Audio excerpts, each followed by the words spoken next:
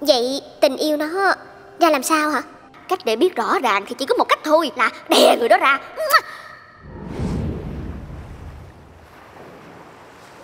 Tôi thực sự xin lỗi cô nha.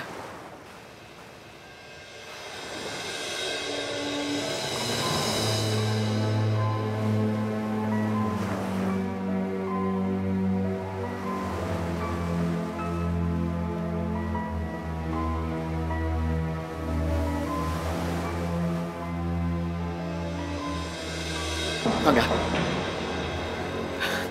Mà đi. Cô vừa mới làm gì vậy? Ừ, Tôi tôi chỉ muốn biết là Tôi cấm cô hành động như vậy với người khác Biết chưa?